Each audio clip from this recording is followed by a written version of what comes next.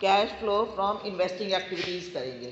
ठीक है हमने कल जो है फॉर्मेट कर किया था ध्यान है आपको? हमने ऑपरेटिंग एक्टिविटीज़ का फॉर्मेट कर लिया था। तो ये हम सबसे पहला जो पोर्शन है वो हमने ऑपरेटिंग एक्टिविटीज़ का किया था जिसमें मैंने आपको क्या बताया था? कि आप स्टार्ट करोगे नेट प्रॉफिट आफ्टर टैक्स से फिर उसमें टैक्स डिविडेंड और रिजर्व्स। तीनों को आप ऐड करोगे तो आपको पता चल जाएगा कि हमें एक्चुअल में प्रॉफिट कितना हुआ था।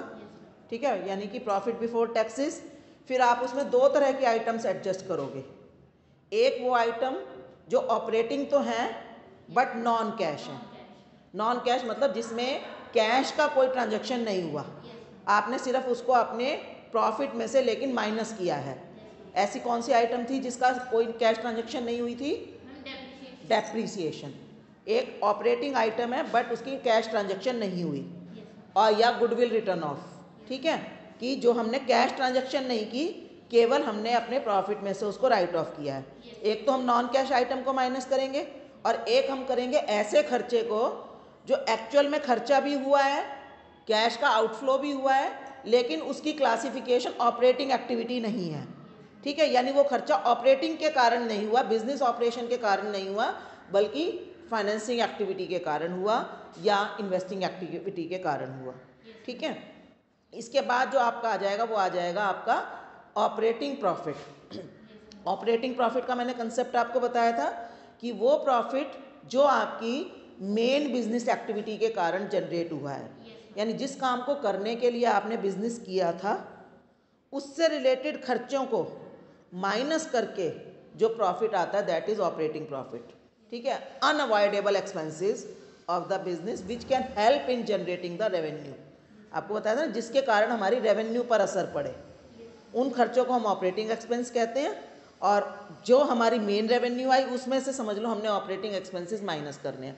एक डायरेक्ट मेथड होता है। डायरेक्ट मेथड में तो सीधा हमें रेवेन्यू दे रखी होती है उसमें से हम सिर्फ़ छांट छांट के वो खर्चे माइनस कर देते हैं जो रेवेन्यू नेचर के हैं ऑपरेटिंग नेचर के हैं और कैश हैं। लेकिन आपको करना इनडायरेक्ट मेथड तो हम ये उल्टा वाला मेथड फॉलो करते हैं। क्योंकि जो पब्लिक है, आम जनता है, उसको हमारे अंदर की जो फिगर्स हैं वो नहीं पता होती। डिटेल नहीं पता होती, हमें समरी पता होती है आम पब्लिक को। उसको एक बैलेंस शीट पता होती है फाइनल और एक इनकम स्टेटमेंट पता होती है। अब उसको उसी में से पता लगाना होता है कि इसका अलग अलग कैश का फ्लो कैसे हुआ। तो रादर अकाउंट्स की डिटेल में जाकर हम डायरेक्ट मेथड से कैश फ्लो स्टेटमेंट बनाएँ। आम तौर पर इनडायरेक्ट मेथड से कैश फ्लो स्टेटमेंट बनाई जाती है, जो पब्लिकली अवेलेबल इंफॉर्मेशन है उससे। ठीक है तो हम वो फॉर्मेट कर रहे थे। अब हम इसका सेकंड पार्ट करेंगे cash flow from investing activities ठीक है? यानी कि जब हमारा एक पोर्शन कंप्लीट हो जाएगा तो ये हमारा पोर्शन बी है। ठीक है? ये बी पोर्शन है। अब इसमें हमने क्या करना है? हमें करना है कि हमारा कैश एक्टिव जो इन्वेस्टिंग एक्टिविटीज़ है उसके कारण कैश का आना जाना कैसे हुआ? इन्वेस्टिंग एक्टिविटीज़ मैंने क्या बताया था आपको? नॉन करंट एसेट्स है ना? करंट एसेट्स तो हमने ऑपरेटिंग एक्टिविटी में एडजस्ट कर ली। यहाँ पर हम बात करेंगे नॉन करंट एसेट्स की। ठीक है? और नॉन करंट एसेट्स का आपको ये पता है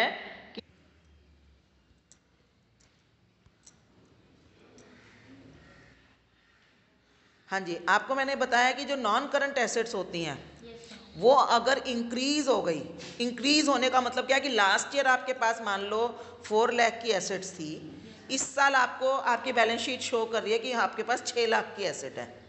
यानी कि एसेट की वैल्यू इंक्रीज हो गई। बिल्डिंग है फर्नीचर है प्लांट एंड मशीनरी है ठीक है? या आपने कोई रिसर्च एंड डेवलपमेंट आपने पढ़े हैं ना फिक्स एसेट्स के चार हेड इंटेंजिबल टेंजिबल्स ठीक है? आपकी कोई इंटेंजिबल एसेट पिछले साल थी नहीं अब की बार बढ़ गई। या पिछले साल कम वैल्यू पर थी अब की बार ज़्यादा वैल्यू पर हो गई। इसका मतलब वो कैसे बढ़ी होगी आपकी? कोई पौधा तो है नहीं है ना? कि अपने आप बढ़ गया होगा? कैसे बढ़ी होगी? आपने खरीदी होगी? तभी बढ़ी होगी ना? खरीदी होगी का मतलब क्या है? आपने पैसे दिए होंगे? कैश का आउटफ्लो हुआ होगा। तभी तो खरीदी गई ना? या आपने शेयर्स इशू किए होंगे बदले में? अगर शेयर्स इशू करके आपने वो एसेट खरीदी है तो वो नीचे आपने नोट में दे रखी होगी। तो इसका मतलब कैश का आउटफ्लो नहीं हुआ। अगर कैश का आउटफ्लो नहीं हुआ तो आपको इसमें इंक्लूड नहीं करना। आपको केवल कब इंक्लूड करना है? जब आपको ये पता लगे अगर क्वेश्चन साइलेंट है या आप अगर रियल बैलेंस शीट भी किसी की देख रहे हो, नीचे कोई नोट नहीं गिवन कि हमने ये शेयर जो है in consideration of building issue किए हैं। इसका मतलब क्या है कि बिल्डिंग पैसे देकर खरीदी गई है। तो जब कैश का आउटफ्लो हुआ हो तो आपको यहाँ पर इंक्लूड करना है।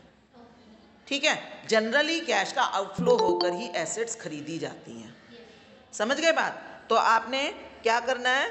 कैश अच्छा अच्छा अच्छा वो एसेट मान लो कम हो गई हो। आपकी कैश की एसेट की value sorry non current asset है उसकी वैल्यू कम हो गई। Yes. अब वैल्यू दो ही कारणों से कम होती है। या तो डेप्रिशिएट हो गई वैल्यू yes. है ना? नॉन कैश एक्सपेंस हो चुका। Yes. तो वो आपने ऑपरेटिंग एक्टिविटी में एडजस्ट कर दिया। ठीक है? फिर आपको मान लो एक एसेट है जो आपको तीस हज़ार की दिखाई दे रही है पिछले साल। ठीक है? इस साल वो आपको दिख रही है कि वो बीस हज़ार की रह गई। लेकिन आपने देखा ऑपरेटिंग एक्सपेंस अपने इनकम स्टेटमेंट में जाकर देखा या नीचे अगर आप क्वेश्चन सॉल्व कर रहे हो नीचे लिखा है depreciation charge on this asset is rupees ten thousand value कम हो गई आपने कहा दस हज़ार डेप्रिसिएशन डला है। तो नेचुरल बात है फिर तो वैल्यू बीस ही रहनी थी तीस से घटकर। डेप्रिसिएशन के इक्वल वैल्यू अगर माइनस हुई है तो वो यहाँ पर आपने नहीं लेना क्योंकि वो डेप्रिसिएशन ऊपर एडजस्ट हो चुका है। है ना?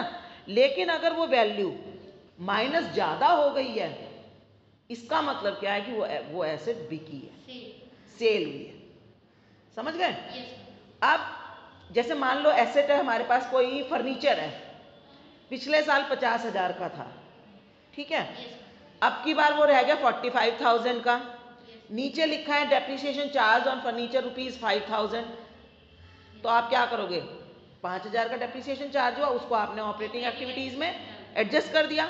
अब जो वैल्यू बाकी की माइनस हुई तो आपने पता ये तो होनी थी। तो आप उसको यहाँ इंक्लूड नहीं करोगे।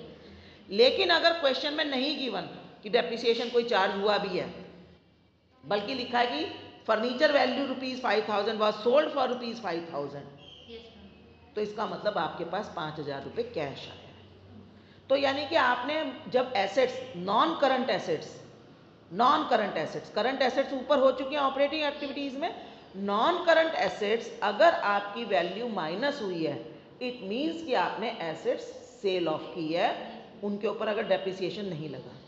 ठीक है? अब ध्यान रखो सेल होने में भी हो सकता है लॉस हुआ हो। तो जितनी एक्चुअली में आपके पास कैश आया है, वो आपने यहाँ पर शो करना है। ठीक है? तो हम कैसे करेंगे? सबसे पहले देखो कैश पेमेंट्स टू एक्वायर जैसे मान लो आपने पहले करो आप ऐड सपोज़ अगर आपने कोई सेल किया है तो cash receipt from disposable disposal of asset disposal मतलब एसेट्स को आपने डिस्पोज कर दिया, यानी बेच दिया। ठीक है? ऑफ़ नॉन करंट एसेट या उस करंट एसेट का नाम आपने नॉन करंट एसेट जो भी है, उसका नाम देना है। मैं यहाँ पर नॉन करंट एसेट एक जनरल कैटेगरी कर दे रही हूँ। है ना? नॉन करंट में कुछ भी हो सकता है। ठीक है? ऐसे आपने लेस करना है। ठीक है? क्या? Cash used to acquire assets acquire मतलब? एक्वायर का क्या मतलब है? खरीदना। ठीक है? कौन सी एसेट नॉन करंट तो देखो, एक तरह से ये रूल वही चल रहा है जो हमने ऑपरेटिंग एक्टिविटीज़ में किया है। क्या किया था हमने? Add increase sorry add decrease in current assets add decrease in current asset तो देखो एड डिक्रीज यहाँ पर भी डिस्पोजल में डिक्रीज ही तो हो रहा है। तो यहाँ पर हम, समझ लो add decrease in non current asset कर रहे हैं। हाँ ठीक है? उस, हमने ऑपरेटिंग एक्टिविटीज़ में क्या कहा? है लेस पर इंक्रीज इन करंट एसेट उसमें यही कहा ना add decrease in current asset less increase in current asset तो यहाँ पर भी तो देखो इंक्रीज हुई एक्वायर हुई तो इंक्रीज ही हुई ना। तो यानी कंसेप्ट तो वही है वर्ड चेंज हो गए। कभी भी कोई एसेट बढ़ेगी ठीक है? चाहे वो नॉन करंट एसेट्स बढ़े या करंट एसेट्स बढ़े। करंट एसेट्स बढ़ी तो ऑपरेटिंग एक्टिविटी में ऐड हो गई। लेस हो गई सॉरी और करंट एसेट्स बढ़ी तो ऑपरेटिंग एक्सपेंसेस में एक्टिविटीज़ में लेस हो गई और अगर नॉन करंट एसेट्स बढ़ी तो वो इन्वेस्टिंग एक्टिविटी में लेस हो गई। yes, समझ गए? करंट एसेट्स घटी। घटने का मतलब क्या? हमारे पास पैसा आया। कैश आया। तो वो करंट एसेट है तो ऑपरेटिंग एक्टिविटी में एडजस्ट हो गई। सेम yes, चीज़ अगर वो नॉन करंट एसेट है घट गई है और पर हाँ यहाँ पर आपने देखना घटने के बाद वो डेप्रिसिएशन से ज़्यादा घटी है तो वो यहाँ पर ऐड हो गई। यानी कंसेप्ट दोनों में सेम चला। ठीक है? इसके अलावा अगर आपने कोई इन्वेस्ट इन्वेस्टमेंट की है, ठीक है? Cash use to increase non current investment increase या एक्वायर शेयर्स जैसे इन्होंने लिखा है cash payment to acquire shares warrants और डेप्ट इंस्ट्रूमेंट्स ऑफ़ अदर एंटरप्राइजेस इसको हम क्या बोलते हैं? अगर हमने किसी दूसरी कंपनी के शेयर खरीदे हैं बिज़नेस ने, एक बिज़नेस ने दूसरी कंपनी के शेयर्स एक्वायर किए हैं डिवेंचर्स एक्वायर किए हैं वारंट एक्वायर किए हैं, इसका मतलब इसने वहाँ पर इन्वेस्टमेंट की है। तो नॉन करंट इन्वेस्टमेंट बेटा एक करंट इन्वेस्टमेंट होती है, एक नॉन करंट इन्वेस्टमेंट होती है। तो नॉन करंट इन्वेस्टमेंट को आप यहाँ पर एडजस्ट करोगे। ठीक है?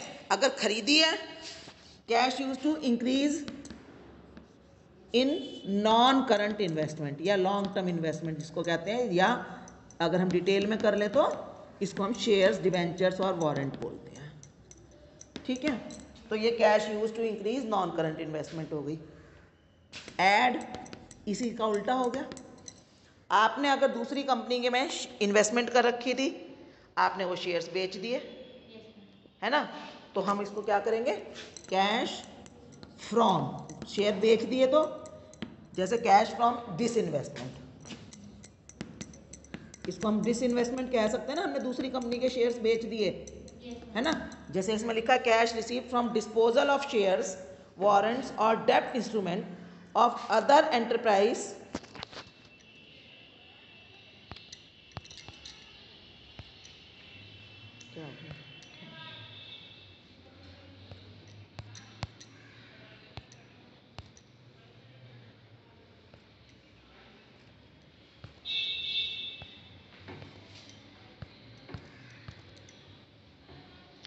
हाँ जी। इसके बाद interest received in cash from loans and advances जैसे ये है आपने शेयर वगैरह खरीदे तो वो नॉन करंट इन्वेस्टमेंट हो गई। इसी तरह से अब आपने मान लो किसी को लोन एंड एडवांस दिया है अभी। अगर आपने किसी को देखो आपने अगर लोन लिया है तब तो वो फाइनेंसिंग एक्टिविटी है ना? क्योंकि आपके पास पैसा आया वो फाइनेंसिंग एक्टिविटी लाइबिलिटी इंक्रीज हो गई नॉन करंट लाइबिलिटी बढ़ी तो इसका मतलब फाइनेंसिंग एक्टिविटी लेकिन अगर आपने किसी को लोन दिया है तो आपके पास क्लेम है ना उसका? तो it means it's your asset asset है ना?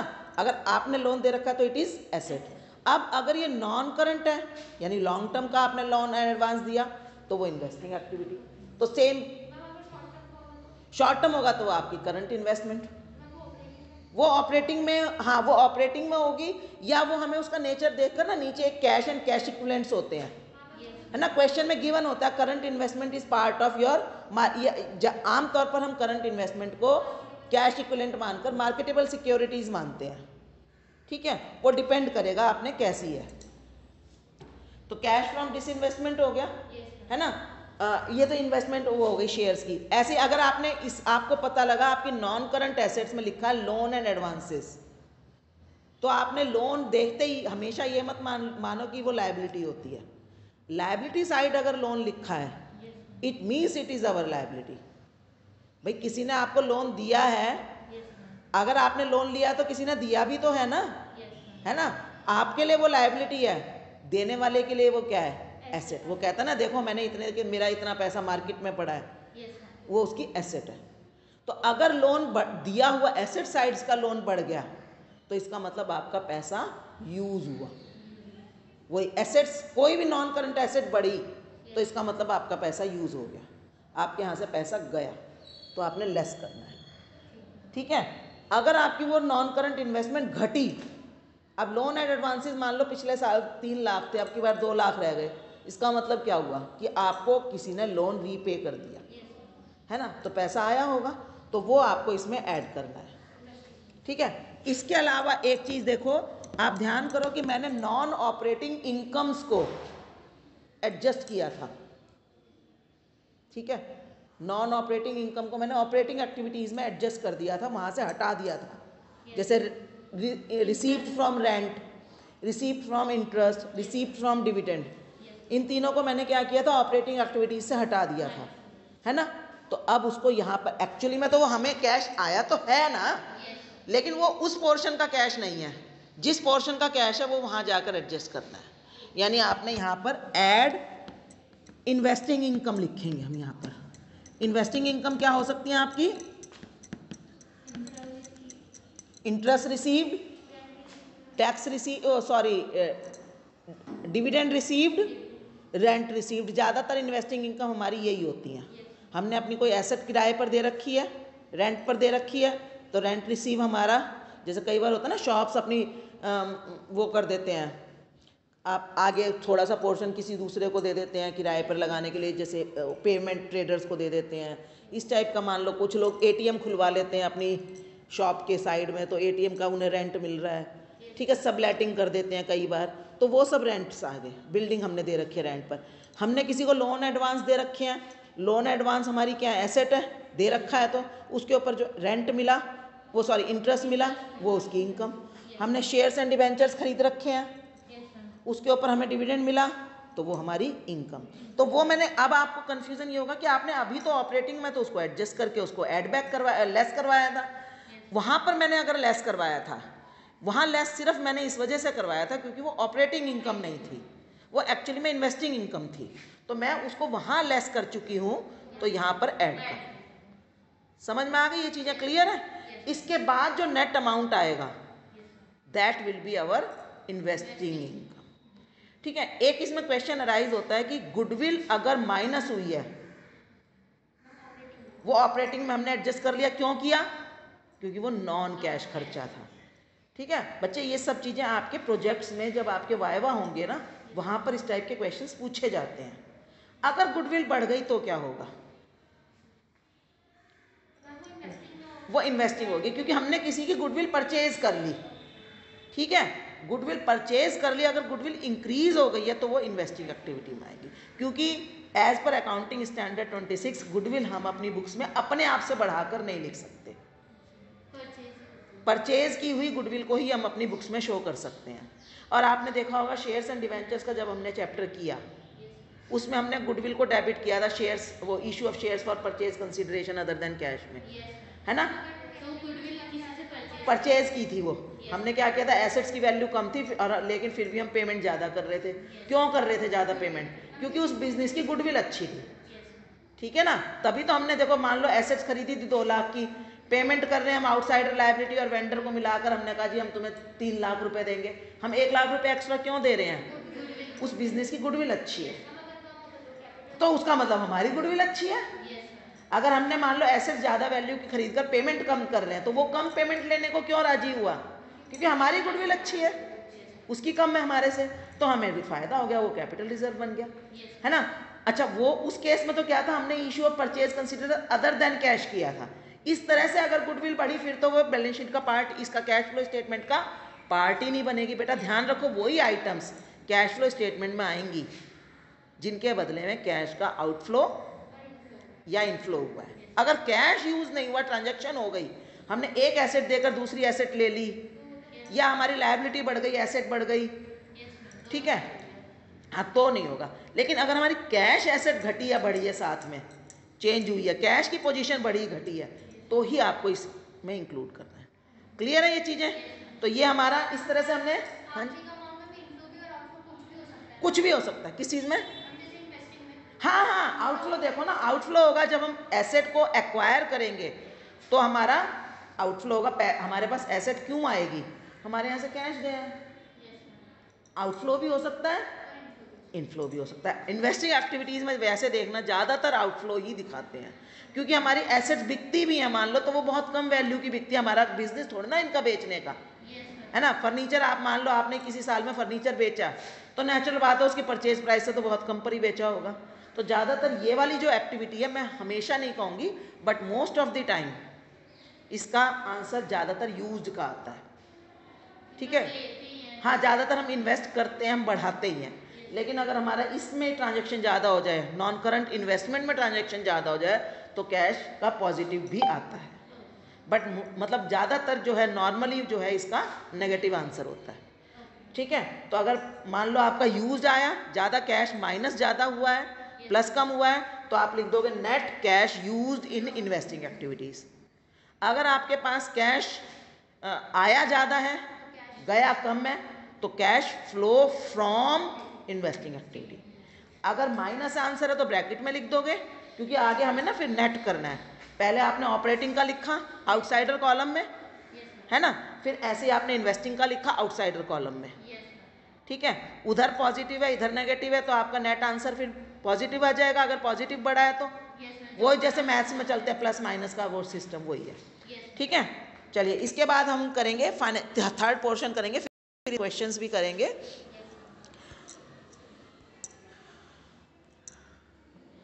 कैश फ्रॉम फाइनेंसिंग एक्टिविटीज़ है ना?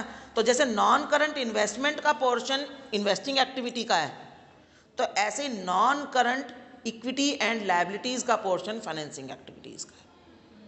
समझ में आया? आपको बैलेंस शीट का फॉर्मेट याद है ना?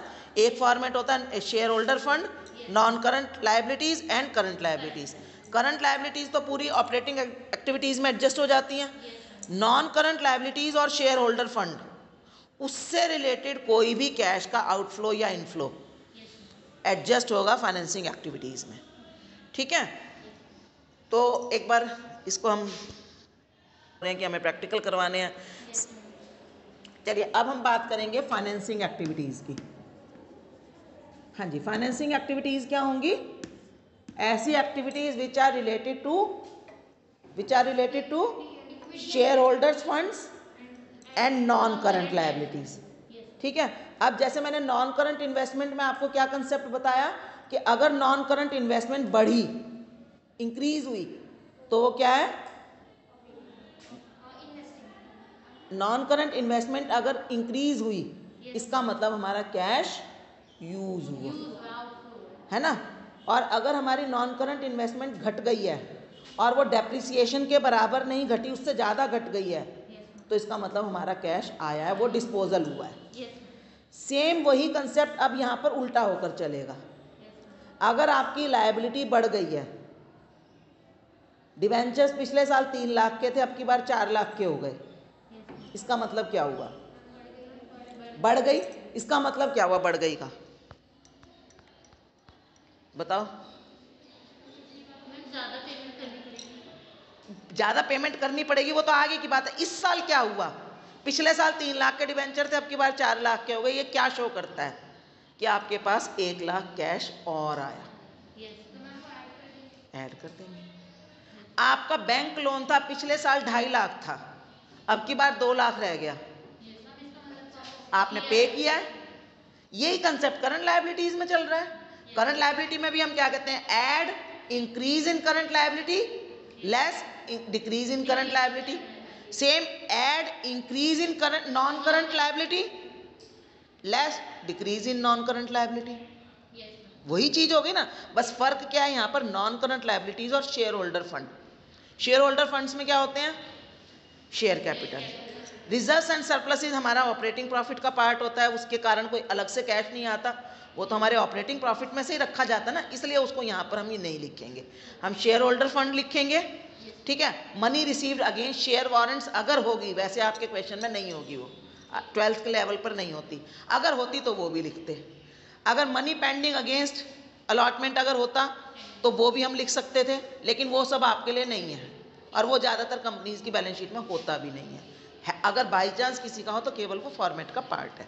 आपको मेन एक तो शेयर कैपिटल का इंक्रीज डिक्रीज देखना है। शेयर कैपिटल डिक्रीज नहीं होती आपको ये बात पता ही है। है ना? बाय बैक ऑफ़ शेयर्स अगर हो तो अलग बात है बट वो भी शेयर कैपिटल डिक्रीज नहीं होगी। बाय बैक भी होगा तो। तो शेयर कैपिटल तो हमेशा इंक्रीज ही होती है प्रेफरेंस शेयर कैपिटल डिक्रीज होती है। पता है ये बात आपको? प्रेफरेंस शेयर्स रिडीमेबल होते हैं। Equity shares are non redeemable they are never redeemed but preference shares have to be redeemed after some time तो प्रेफरेंस शेयर्स के कारण तो आपकी हो सकती है। तो बेटा हमेशा आपने वो चीज़ ना नीचे नोट्स टू अकाउंट में डिटेल गिवन होती है। तो इसलिए ज़्यादा आपको परेशान होने की ज़रूरत नहीं। इसका ना क्वेश्चन सॉल्व करने की भी अपनी ट्रिक है। किस ट्रिक से क्वेश्चन सॉल्व करने हैं, वो भी मैं आपको यहाँ करवाऊँगी। ठीक है? तो चलो, अब हमारा कैश इनफ्लो क्यों हुआ? क्योंकि शेयर कैपिटल बढ़ गई। या हमने लोन एंड एडवांसेस ले लिए, या हमने डिवेंचर्स इशू कर दिए, है ना? तो उसके कारण या हमारी कोई अदर कोई लॉन्ग टर्म बोरोइंग है किसी भी तरह की, उसके कारण हमारी शेयर कैपिटल बढ़ती है। सॉरी फाइनेंसिंग एक्टिविटीज़ में कैश इनफ्लो होता है। कैश आउटफ्लो क्यों होगा? हमने अपने लोन्स रीपे कर दिए, है ना? हमने, या फिर इनके कारण हमने इंटरेस्ट या डिविडेंड पे किया। अगर इंटरेस्ट पे किया तो भी लोन का आउटफ्लो होगा, और अगर हमने डिविडेंड पे किया तो भी लोन सॉरी कैश का आउटफ्लो होगा। तो उसके कारण आपने यहाँ पर शो करने हैं। इनफ्लो किस कारण हुआ? इनफ्लो हुआ तो ऐड करना है आउटफ्लो हुआ तो लेस करना है। इसके बाद उसी तरह से नेट आ जाएगा आपका। फिर हम तीनों एक्टिविटीज़ का नेट कैश निकालेंगे कि टोटल पूरे ईयर में हमने कितना कैश जनरेट किया। या तो कैश जनरेट किया या हमने यूज़ किया। इसके बाद उसका जो फाइनल स्टेज होगी, वो फिर हम पूरी जब स्टेटमेंट बनाएँगे तो आपको समझ में आएगा। इस तरह से आपने जो है तीनों एक्टिविटीज़ का अलग अलग सेग्रीगेशन समझ लिया। इसके बाद हम एक कंपाइल्ड कैश फ्लो स्टेटमेंट बनाएँगे। ठीक है? चलिए।